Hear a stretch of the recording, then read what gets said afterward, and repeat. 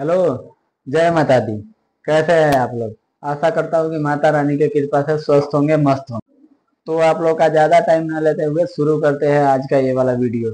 तो सबसे पहले आप लोग ये वीडियो देखिए और बताइए कौन सी मूवी का है। आप लोग यही सोच रहे हैं ना कि बॉलीवुड या साउथ इंडस्ट्री का वीडियो होगा, लेकिन ऐसा नहीं है। ये भोजपुरी मूवी का वीडियो है। जी हाँ मैं सच बता रहा हूँ। आप लोग को विश्वास नहीं हो रहा है ना? और विश्वास होगा भी कैसे? ये लोग हर फ़िल्म में एक ही घिसा पीटा कहानी लेकर आते हैं। इसलिए पब्लिक का इन लोगों पर से विश्वास उठ चुका है। अभी जब पहली बार ये वीडियो क्लिप देख रहा था तो मुझे भी विश्वास नहीं हो रहा था। मैं भी सोचने लगा कि नहीं नहीं, ये भोजपुरी फ़िल्म का तो वीडियो ही नहीं सकता। पर जब इस बंदे को देखा, तब जाके विश्वास हुआ। भले ही कहीं चेहरा धुंधला दिख रहा है, पर सच्चे भोजपुरी देखने वाले, सुनने वाले जो भी होगा, वो तो एक बार में ही पहचान जाएगा ये कि ये कौन है। सब बात छोड़ो, मुद्दे की बात करते हैं, और मुद्दे की बात यह है कि इस फ़िल्म का नाम राजा राम है। इसकी टीजर कल सुबह सुबह यानी कि पाँच अक्टूबर को सारेगा हम भोजपुरी से आ चुका है। टोटल बावन सेकेंड का टीजर है, और सही है। इसमें थोड़ा सा भी टाइम इधर उधर होता तो मज़ा नहीं आता। मुझे लगता है कि ये फ़िल्म जो है पूर्ण रूप से सनातन धर्म के ऊपर बनी हुई है। बात करें फ़िल्म के कहानी का तो बात करें फ़िल्म की कहानी का तो मुझे भी पता नहीं।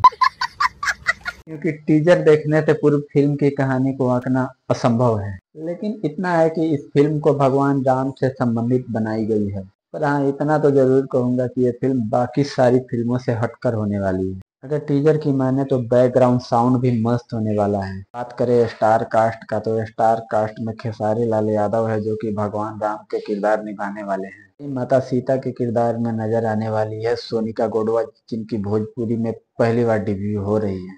वही माता सीता के किरदार में नज़र आने वाली है सोनिका गोडवा, जो कि भोजपुरी में पहली बार डेब्यू कर रही है। लक्ष्मण जी के किरदार में नज़र आने वाले हैं राहुल शर्मा। और ये भी भोजपुरी में कई सारे सुपर डुपर हिट फ़िल्में दिए हैं। पांडे संजय, महानंदा, के के गोस्वामी, नम्रता मल्ला और सपना चौहान के साथ और भी बहुत सारे कलाकार नज़र आने वाले हैं। कि फ़िल्म कैसा है, इस फ़िल्म की कहानी कैसा है, ये तो फ़िल्म देखने के बाद ही पता चलेगा। जहाँ तक लगता है उस हिसाब से इस फ़िल्म को दीपावली या छठ तक रिलीज़ किया जाएगा, तब तक इंतज़ार कीजिए। मेरे हिसाब से ये फ़िल्म पैन इंडिया रिलीज़ होने वाला है। बस वीडियो काफ़ी ज़्यादा लंबा हो जाएगा, इसलिए वीडियो को यहीं पर खत्म करते हैं। जानकारी अच्छा लगा हो तो लाइक करो, दोस्तों के पास शेयर करो और कमेंट में अपनी राय ज़रूर दें। और हाँ फेसबुक पे देख रहे हैं तो पेज को फॉलो करें, अगर यूट्यूब पे देख रहे हैं तो चैनल को सब्सक्राइब करें। मिलते हैं अगली वीडियो में, तब तक के लिए जय माता दी।